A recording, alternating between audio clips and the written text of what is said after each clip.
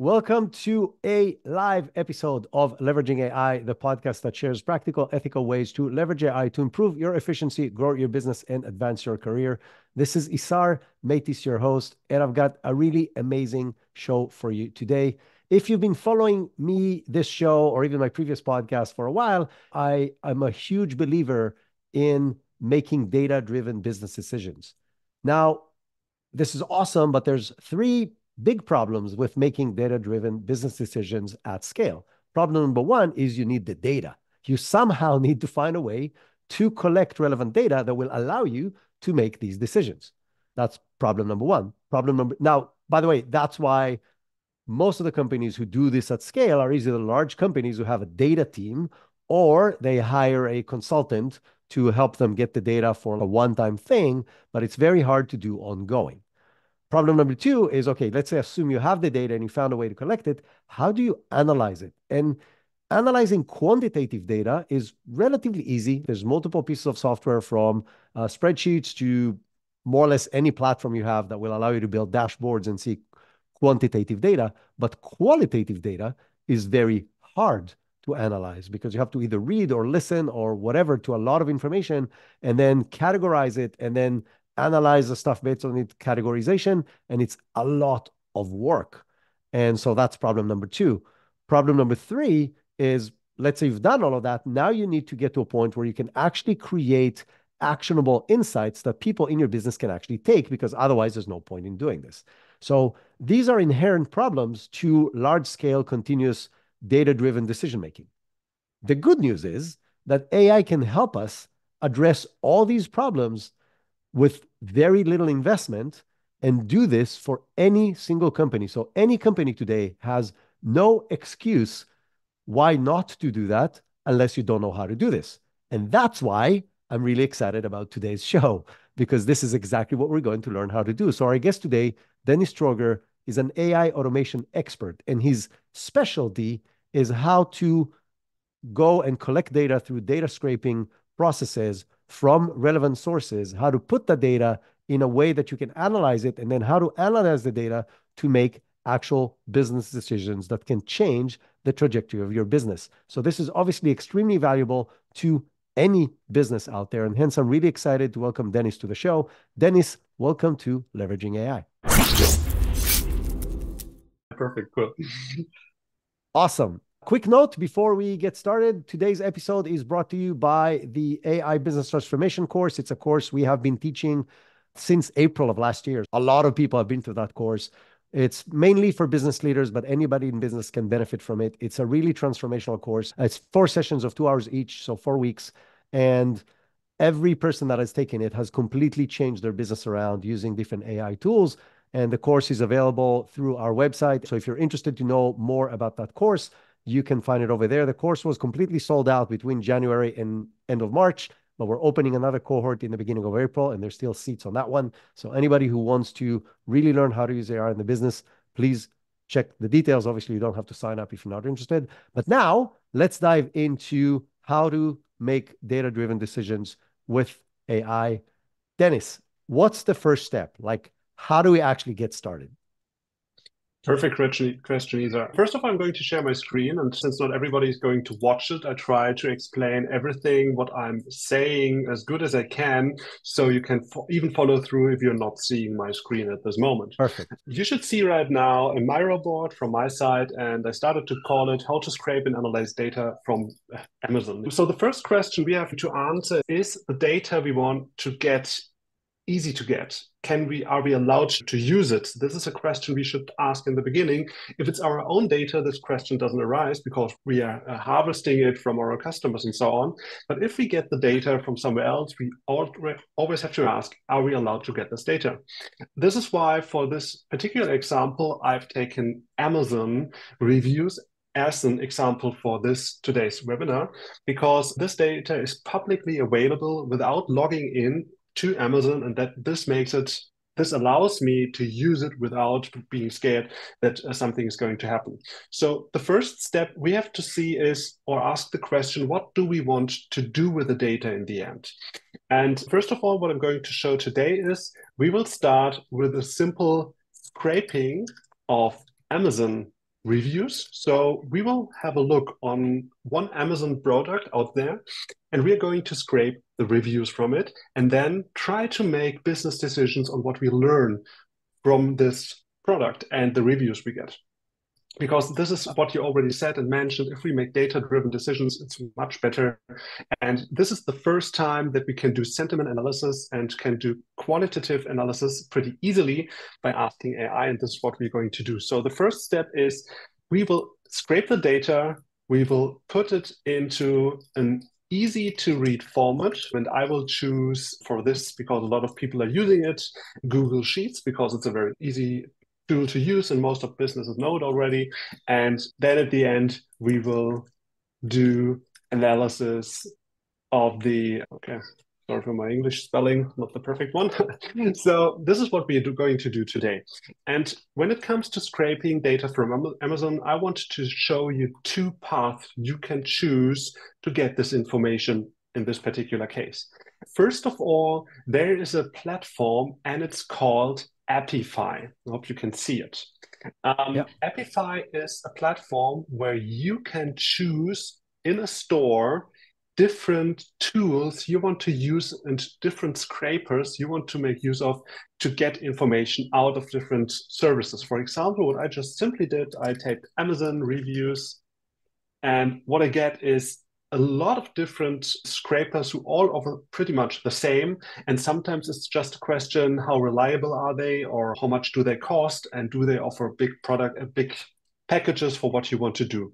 For our little example today, I've decided for the Amazon review scraper from Junglebee here. It has 1,800 active user. That's actually quite good. And when I'm entering this review scraper, what I can see here now is you can forget most of the uh, information you're seeing here. Most relevant for us is you can do here a trial period of 14 days. I already subscribed to it. And what I have to do now is I can add here in this search field which product on Amazon I want to scrape. Basically, the URL of the product. Exactly. This is exactly the point. You just go to Amazon, you're searching for any problem, uh, problem product you want to search for. You're just going here to the upper URL bar. You copy this here with copy, and all you have to do is you put it here, pair pasting inside, and that's pretty much it. This is like the easiest way how you can get information right from Amazon. And all you have to do is here to save and start. And now what's going to happen is um, this tool has now started in the back or will start in the background. And in this case here, in a few seconds, we will see that the virtual machine in the background will do its work. And this might take, depending on how much you want to scrape, maybe one minute to two minutes, and then the results will be there. I actually did this already. Ah, you can see now that it started, that yeah. we are now in queue, and that the process starts here. And when I go here to runs, then I can already see here how many re results have already been scraped and how much it costs me. And the beauty of Apify is that you have five dollars of of usage per day, so I don't have to pay for it, even though it says here it costs five cents now, roughly. If I go now, I want to pause you just for one second, just for people who are like, oh, but yes. I don't sell products on Amazon and I don't care. Yeah. The idea here is the concept, right? So you can yes. scrape data from other sources. If you sell software, you can go to places like G2 and scrape that and see customer reviews for yourself and your competition.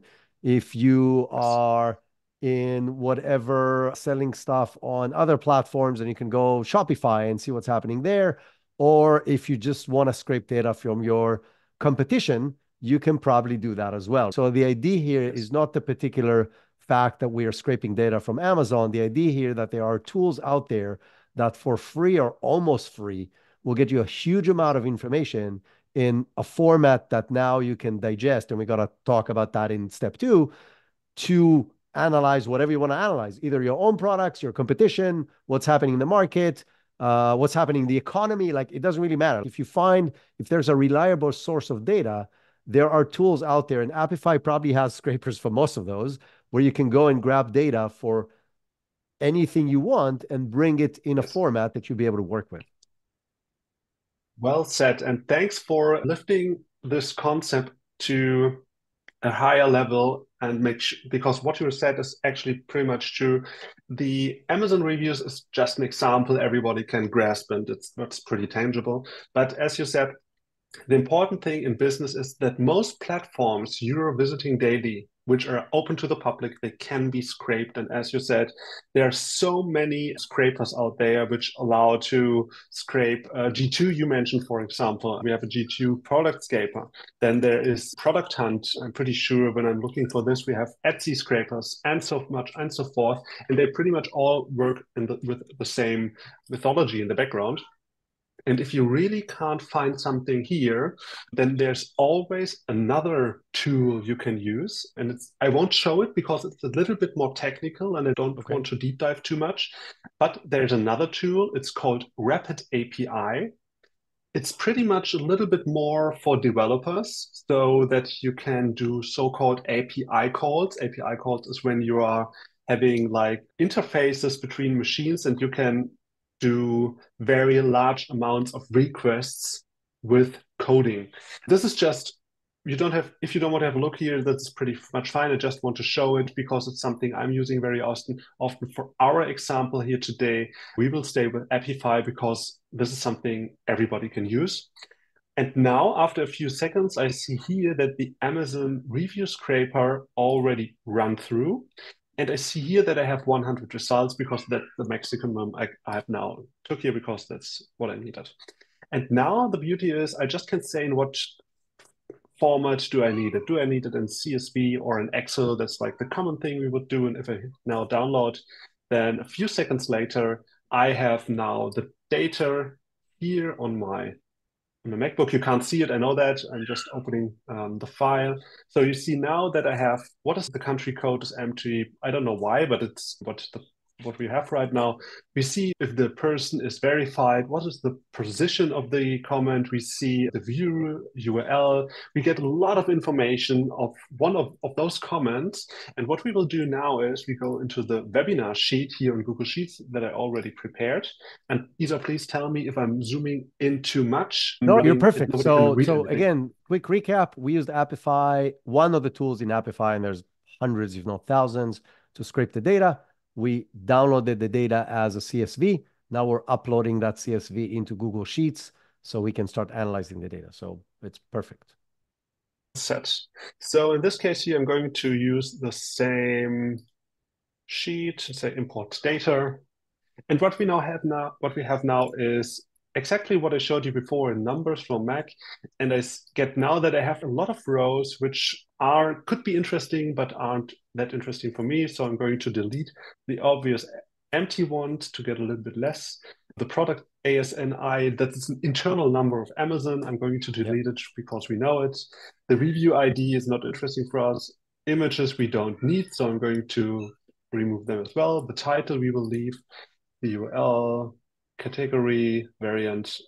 And what we have left over after a little bit of looking what kind of data we want to have, we see that we are left, and USA is here repetitive, so we don't want to take this as well. And you see now that we are left with a few categories of content, and we can start to work with it. I will okay. remove this one as well here. So now we have all the data all those results and all those comments and all the titles in one Google Sheet after a few seconds. Now we talked a lot between, but this is yeah, something yeah. only took a few seconds and it depends, of course, on the number of re requests you do. But in this case, I will delete the is verified as well. The position we don't need and the rating score. We are now left with our results will be biased because when I see now we have only got the five stars reviews, we know that most of those comments will be positive because otherwise you don't go a five star review. But sorry for this bias, something I haven't thought about before when I scrape the data. But uh, it's all good. It's just but to for those of you who are not looking at the screen, we're looking at now only four different columns: the date, the rating, so how star rating, the review description, so the detailed review, and the review title that appears on top. So that's all we have. And because we scraped only 100 reviews, then they're the ones at the top of Amazon and they're mostly five and four star reviews. So most of them are obviously going to be positive reviews. That's what Dennis meant as far as the bias. I assume if we picked up a different product or if we scraped more than 100, we would have gotten a bigger variety. Yeah, that's well said. In this particular case, I want to show you something that really can help us because now we have the data and now the most important part begins. I have the data now, and now I have to ask myself, what do I want to learn from that data? What I've seen when I've done my AI hackathons in the past, what people did, I'm just doing an example, they went here, marked a lot of comments, switched to ChatGPT, and just asked, tell me what we can learn here. So I just copied all of those comments and now I will drop them into ChatGPT. And what we will get out of it is like pretty much nothing because when we are unclear of what we want, AI can't help us to determine a good result. And to make this even a little bit more clear, for this particular case, what I will do is Google Sheets allows us to have something what is called add an app script. App script mm-hmm. is something where you can define your own functions in Google, for example. And I can show how easy it is to get ChatGPT to write a function like this. And so I will go to ChatGPT here and I will say, please write a app script function that shows a pop-up and says, hey, it will, if I do this, ChatGPT will give us all that's needed to copy and paste this. And I have now here a function, it's called show pop-up. And when I copy this and post this into my file, I can save it. And now when I run it, the pop-up will show here. So this is nice, but nothing special, nothing fancy is happening here. But I just want to show the, the, the theory behind it. And what we are going to do now is what is also possible to do is we can write functions. For example, if I had five numbers or two numbers here, for five and three, I could say sum up those in Google Sheets, and then I get a result back here like at eight and we can yeah. write custom functions. Why is this interesting? For us, I'm going to show you. What we can do with AppScript is that we can call the API of ChatGPT in the background. For our example, and because it's a little bit cheaper and for you it doesn't make any difference, I will now copy and paste my my code, and this is fully generated by ChatGPT. This, I haven't done anything here by myself. I've now created a function called call Mistral, what is an alternative tool to ChatGPT. And as you can see here, in this particular case, um, this function can be used to give it something to work with. So what I can do now is say call Mistral, who was the second president of the United States, I should save it. I haven't saved it, and if it isn't saved, then it won't run. In a few seconds, the second president of the United States was John Adams. He served as president from 1797 to 1801. So we get an answer from Mistral in this case for something that we asked it here. And now what we can do is we can have like several columns up here and say, for example, does this comment include information how to improve our product? Simply answer with yes or no, only one word. It could be that it sometimes answers with more, but what we can do now is we can say that we want to call the Mistral API. We will use what is set in this first in this first cell up here, and we add simply the comment here at the beginning. And what's happening now is Mistral is going to analyze it, and we see now that Mistral thinks that in this that in this review is something how to improve our product. So we can have a, a closer look now, and if it doesn't work well, And we see now, yes, this comment includes information on how to improve the product. It mentions specific concerns such as limited internal storage and Joy-Con drift. I don't know what Joy-Con drift is, but if it's your product, you hopefully know what the people are writing about. So what I can do now is I can simply, maybe from Google Sheets, drop this down, and now I do a lot of API calls, and hopefully Ah, I know I made a mistake because I haven't said that the first cell needs to be always the same. Yeah. So I want a quick recap for people who are just listening to what we're doing. So we took the data from the scraper, dropped it into a CSV. And what we've done now is we've taken a app script, which you can create on your own. And would you be able to share it so we can put it in the show notes, the actual script? Yes. Yeah. Okay. So Dennis will share it with us. We'll put it in the show notes. So all you have to do is in Excel, is go and create a new script, which is in the drop-down menu on the top, paste that script, and then you can basically communicate with a any API of a large language model, which means you can now create talk to the large language model from within the data ranges of this particular of this particular set of data. So what you can do, and that's what we're doing. So in the top of the columns, we're asking a question, which is basically the prompt that we're sending to the large language model, and then copying that down to look at every single row separately. So every single row has a different review of a product or a service or a software, again, depending what data you brought in. So now what you're getting is you're getting the ability to analyze, ask questions about qualitative data, written text of all this information across as many rows as you want. And literally every single one of them just goes and calls in the backend to the API to actually ask the large language model, in this particular case, Mistral, but you can do the same thing with Gemini. You can do the same thing with Claude. You can do the same thing with OpenAI, ChatGPT. All you have to do is go and grab, and there's a multiple YouTube videos that will show you how to go and grab the API key. But all you have to do is sign up. It's nothing. It sounds really scary if you haven't done this. It's as simple as following a one minute YouTube video and you'll see how to get your API key. You put it in that script and, and that's it. And you're up and running. And you can even do that with several of them, right? You can ask the same question to yeah. ChatGPT and to Mistral and see what's happening in each and every one.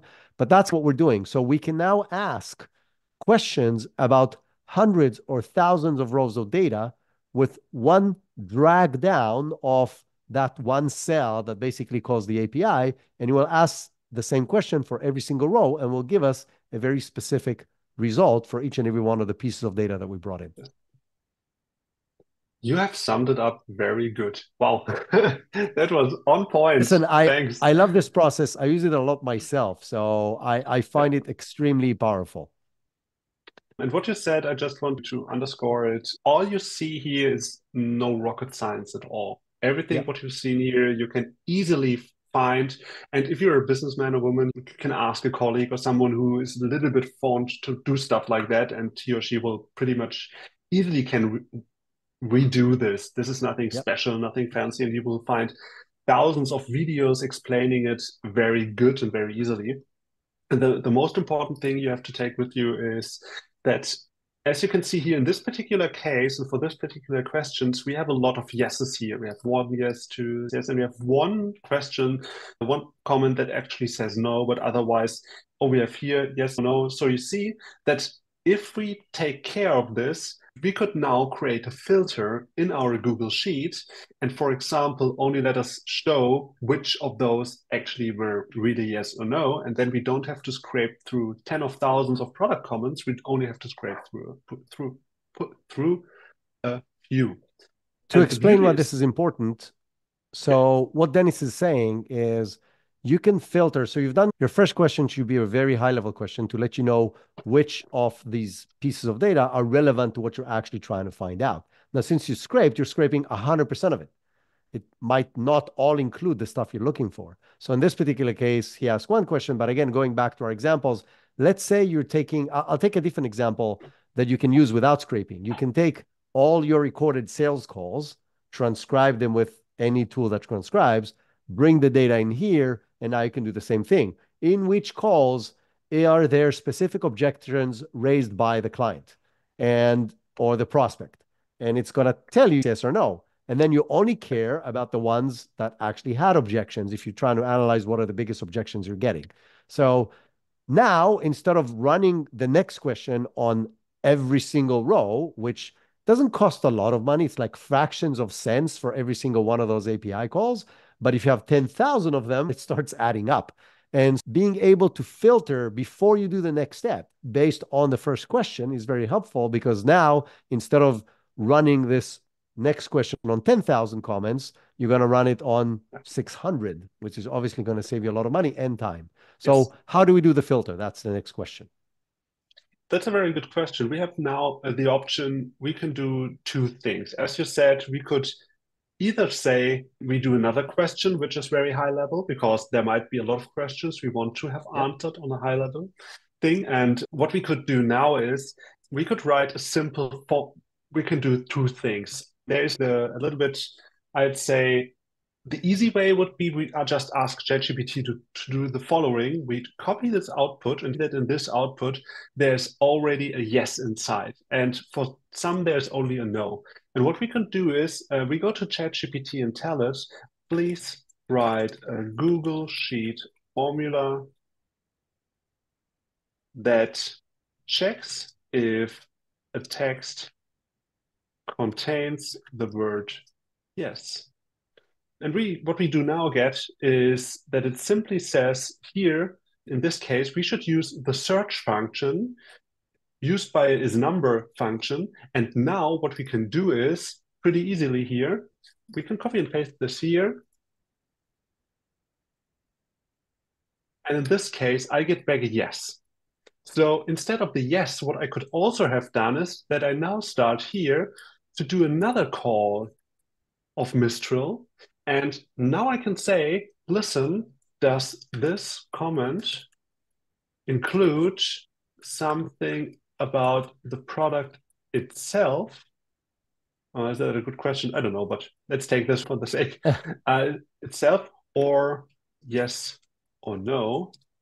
No, if the review only says something about other things. I don't know if this is a very good question, but yeah, I will use it right now. So now, because there's a yes in this in the answer, we get yes, this comment includes something about the product itself. In this case, the Joy-Con drift, and I think has something to do with the controllers that can be used. And if I now do the same thing, I simply run the same prompt now for all of them, then I get now answers only for those comment for those reviews which have yes before. So I can save a lot of, of data and I can pinpoint certain things I want to learn deeper and deeper. And this I can do, as you said, in a sales call, for example. I wouldn't start with, you could say, maybe the person has, we can ask, is there um, objection in the sales call? Yes. Yep. What are, please name now all the objections in the sales call. And then suddenly we can go deeper and deeper and deeper. And then you could ask, okay, please now show me what were all the answers that the salespeople had for this objection around this. And then you can ask several questions regarding what is your goal. And this is something I just want to add because you see, if you do it right, you can ask any question and you can get lost pretty easily. And if you're some nerd like I am, you get lost to the tiniest of details and you won't learn anything new. You won't, you will learn something. But the main question is what I said before what answer do you want to solve? With the data. Yeah, what, what is the problem? What is the what what do you try to find? What is the KPI? You can do this explorative. You can explore the data and just play around a little bit with it. But at a certain point, you have to ask yourself the question: What is the point? What do I really want to learn? And this is why I picked the Amazon example because if you, for example, are in product design, you can see what can I, what do I have to improve to increase my rating. During a sales call, you can see, hey, does my sales script, what I teach new salespeople already include the the most um, objections that come. So you suddenly, without relying on the salesperson, you can analyze all your sales calls and can get the biggest objections the customer has. You can find, you can also find all competitors that person is mentioning. You can analyze on a very high level the sales calls and but always with the question in mind what do you want to answer in, in the end?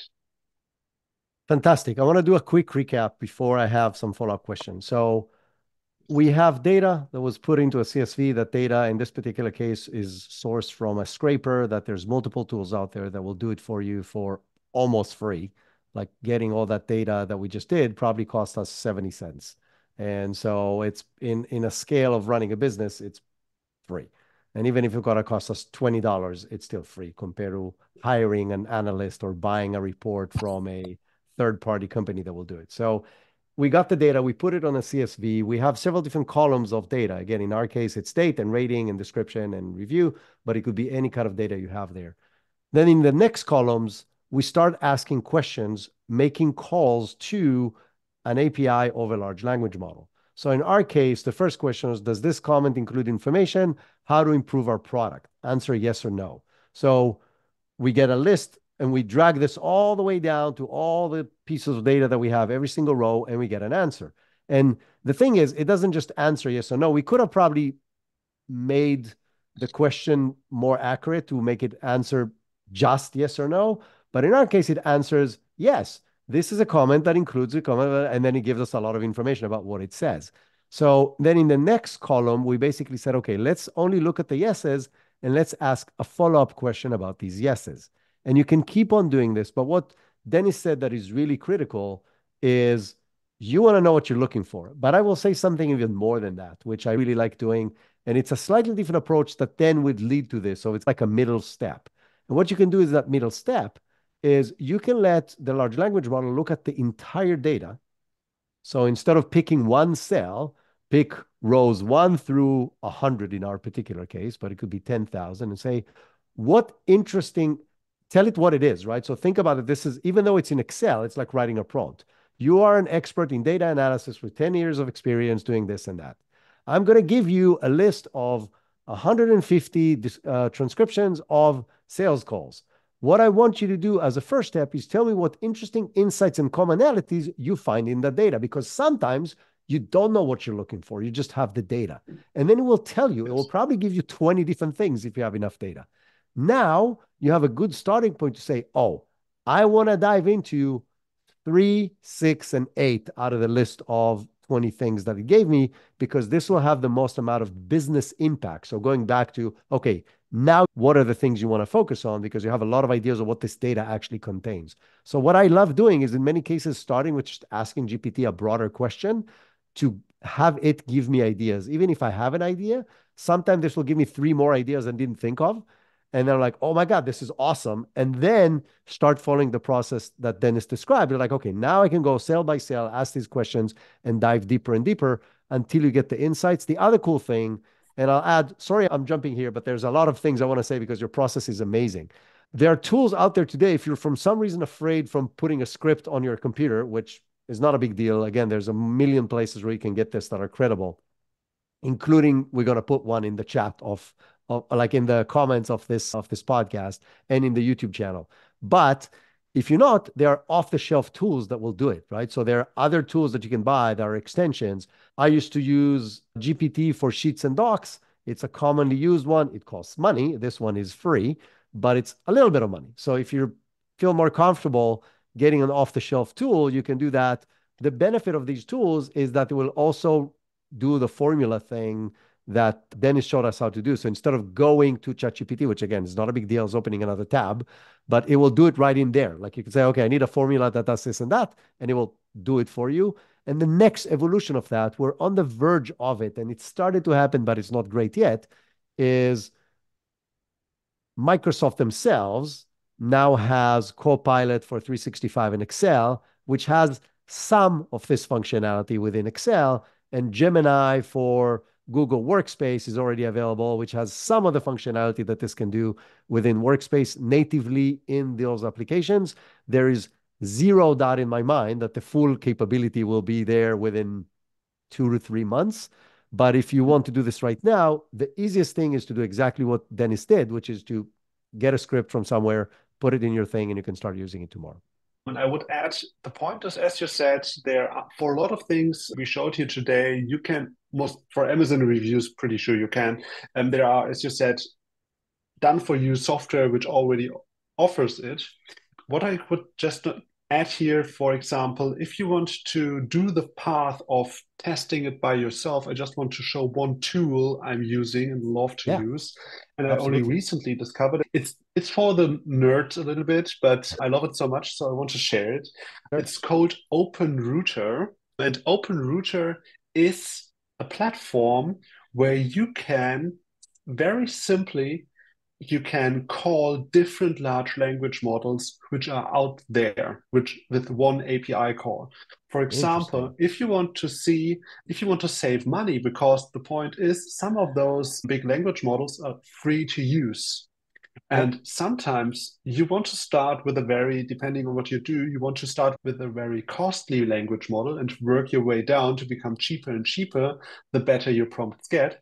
And what is also right, quite interesting here is that, for example, if I have a prompt like this here, I will take just an example here. Oops.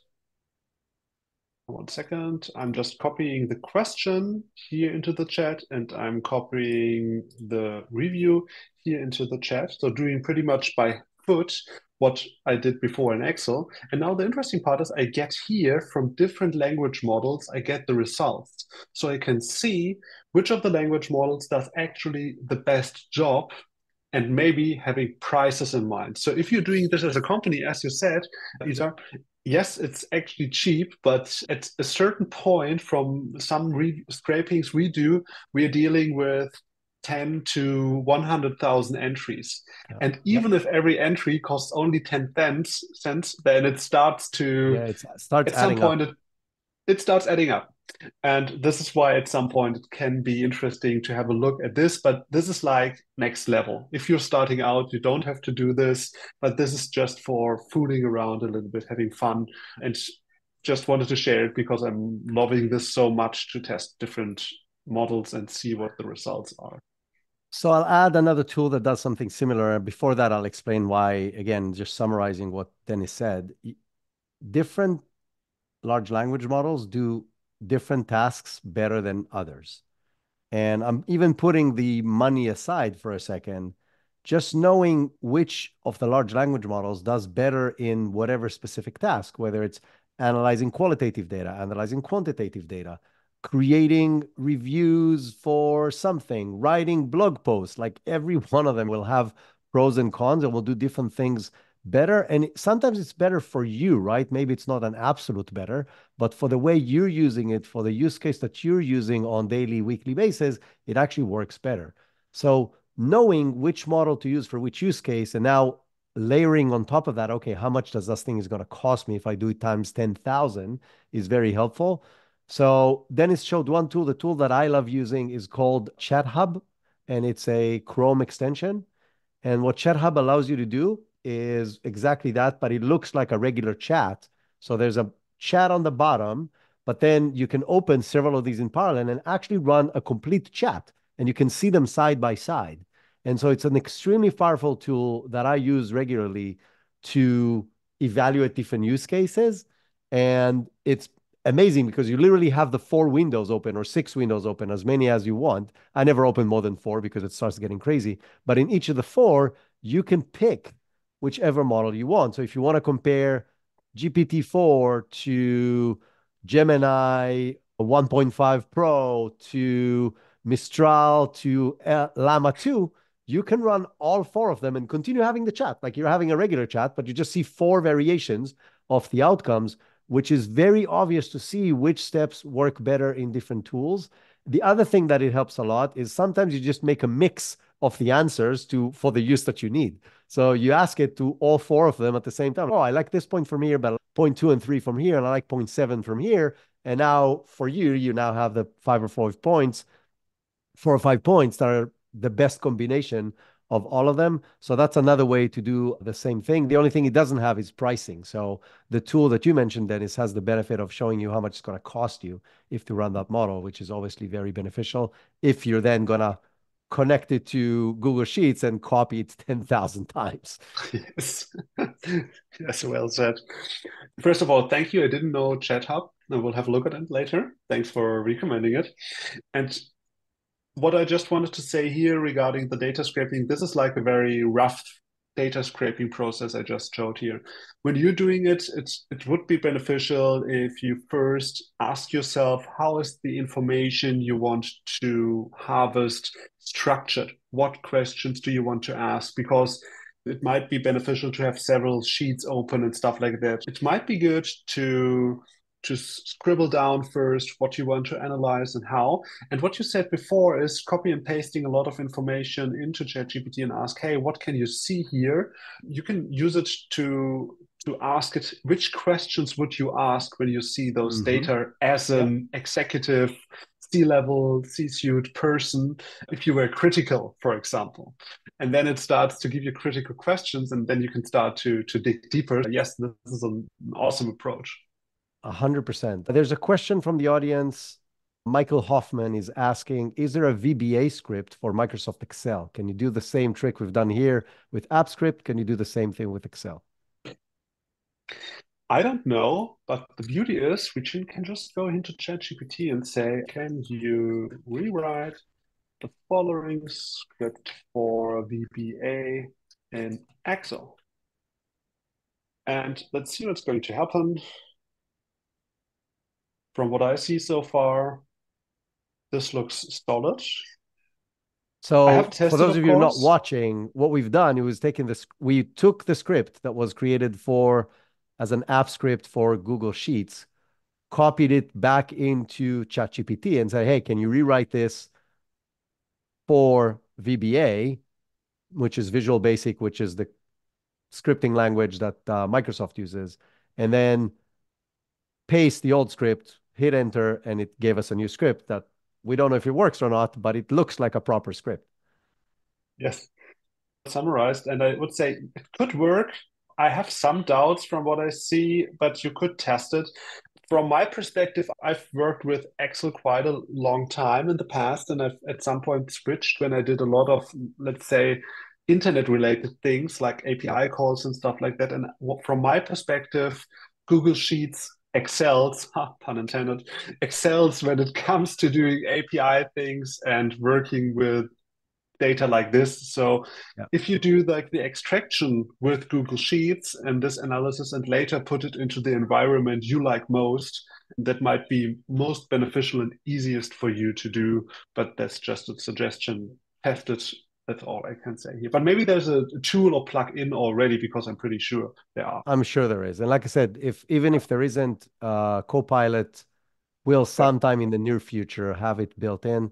Right now, Copilot is very good at doing Excel stuff, meaning it can create formulas, it can create new tabs with new formulas, it can create charts and bars and calculate and pivot tables and all these things without knowing how to do them. Like you literally just ask for it. It still doesn't know how to make API calls back to OpenAI to answer qualitative data questions like we did. But I'll be, again, extremely surprised if that's not the next step that's coming. Yeah, absolutely. Anything you want to add? At this point, I think one of the most important things I wanted to show today, and uh, I'm very thankful that you invited me to the webinar, is that if you take one thing today out of this webinar is that this is the first time in history that we can do reliable sentiment analysis, quantitative analysis of data the first time. It costs nearly nothing. I don't know if you ever have done a survey in your life. And there is a type of survey questions called free text. This, they were like the most horrible things to have whenever you did a, a, survey because you knew it will be hell of work to work through it. Now, if you do like free text, for example, maybe you do customer surveys, you can use now free text and do the same questions. You can use the same methodology. don't look too much, and as Isar said, don't look too much about the Amazon reviews. Just ask yourself what is quantitative data, a qualitative data that you want to have analyzed. And this is now the first time it's really cheap and easy possible. And if you only take one thing with you, that's it actually. Fantastic. I'll add one more thing, which is could be the next step after this, which I really like doing. So we now have an Excel with a lot of really good insights that we filter down to to the the last two columns that have the gold, right? We kept digging and digging, and then we found gold, and that has from ten thousand rows, it's fifty rows of like really good stuff. What you can do is then you can take that column, save it as a new file, upload it to ChatGPT itself, or Claude, or Bard, or Gemini, or whatever, it doesn't matter, Mistral, and then ask it to help you write the report. Because at the end of the day, you need to deliver this as hmm. actionable items to a team, your marketing team, your sales team, your product development team, your whoever, like doesn't matter. So you can then ask and say, okay, here's what we found. I want you to create a table that shows this information. I want you to create a graph that shows this information. I want you to create a executive summary that summarizes it all up. And then I want you to save it as a PDF and it will do it for you. So it's not even saving the steps of the data scraping and the data analysis and getting into conclusions. It also, the next step will actually create the report for you in whatever format you define and will allow you to then you want to take it to the next step after you have the PDF file, ask it, okay, write the email where I introduce this to my leadership team or to my marketing team or to whatever. And then you have the email, you have the attachment, you open your email platform, whatever it is, copy the email, make whatever changes you want to make, add the people on top, connect the, the PDF file, hit send, and you're done. So the process that Dennis and I done with a lot of talking in 45 minutes but that practically takes 10, 15 minutes to do if you know the process and you know what you want to ask, would have taken you days, if not weeks, previously to analyze the data and come up with the data and create the reports and put it in the right format and so on.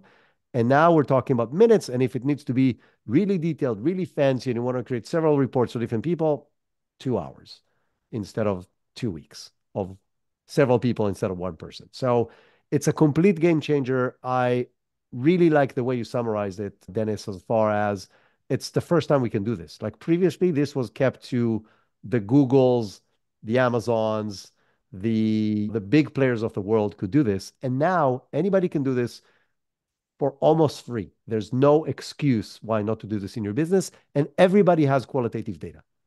Take all your proposals, load them up, and say this one, this lost, and categorize this one and ask it to compare them. There's so many ideas on how you can use this. So if people want to follow you, connect with you, learn from you, etc., what are the best ways to do that? I'd say the best way to connect with me is still LinkedIn. I love LinkedIn because the community is so friendly compared to other networks. I share most of my stuff for free on LinkedIn if I find something new. And I'm very happy for everyone who connects and has questions because I'm sharing my knowledge completely for free. I'm not holding anything back. So if there's something up your mind in a few days or hours and you think, hey, I just simply have a question, don't hesitate, just connect with me, add me, and ask me questions. Phenomenal. Dennis, this was really awesome. Thank you so much. Thank you, Israel.